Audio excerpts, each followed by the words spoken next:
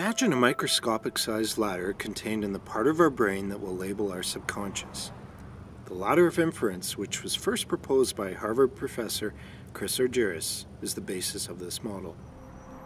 Every time we interact with someone, that experience enters the ladder at the bottom. That same experience zips up the ladder in the blink of an eye, exiting at the top. This process happens thousands of times a day without us knowing it. Let's focus on what happens on each rung of the ladder. On the first rung, we have the raw data and observations of our experience. This is very similar to what someone watching a video recording of our experience would see. Moving up to the second rung, we filter in specific information and details from our experience. We unknowingly filter based on our preferences, tendencies, and many other aspects that we believe are important. On to the third rung, we assign meaning to the information we have filtered through. This is where we start to interpret what our information is telling us. On the fourth rung, a very crucial thing happens.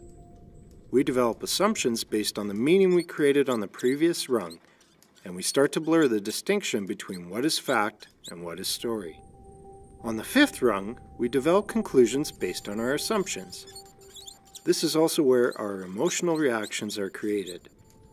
On the sixth rung, we adjust our beliefs about the world around us, including the person or people involved in our experience of the moment. On the seventh and final rung, we take action based on our adjusted beliefs. Still with me? Great! Let's take a real life example and run it up the ladder to see how this all works. Have you ever been cut off in a parking lot, signal light on, as you steer toward your coveted spot only to slam on your brakes at the last minute as someone pulls in front of you and steals your spot away? Imagine that experience and notice all of the data and observations landing on the first rung of your ladder. Now let's watch what we pay attention to on the second rung. Who cares that it's sunny out and the birds are chirping? The 50% off sign outside of your favorite store is meaningless. You filter in the sensation of your grip tightening on the wheel, you feel your blood pressure rise, you hear the squeal of your brakes, and you notice the expression on the face of the other driver as he pulls in front of you and quickly looks away. Time for our third rung. Ever since you were young, your parents taught you the importance of waiting in line and taking your turn. You live and die by the rule of first come, first serve. And now this guy has just stolen your spot. What gives? Up to the fourth rung we go. Watch closely as our assumptions take over and our story creates itself. That stupid jerk. Didn't his parents teach him anything? How could he not see my signal light? He must never pay attention. Why does he think he's more important than anyone else? Jumping quickly to the fifth rung, we conclude that this guy is heartless, inconsiderate, he needs to be taught a lesson and put in his place. We feel angry, frustrated, vindictive, justified. On our sixth rung, we adjust our beliefs based on the experience. That's the last time I give in. Next time someone tries to cut me off, tires will be smoking on the pavement as I squeal past them into my spot. And finally, our last rung, we take action. We back up, pull up behind his car, honk our horn, and roll down our window to scream a few choice words his way. Now, imagine, he walks over quickly, apologizing.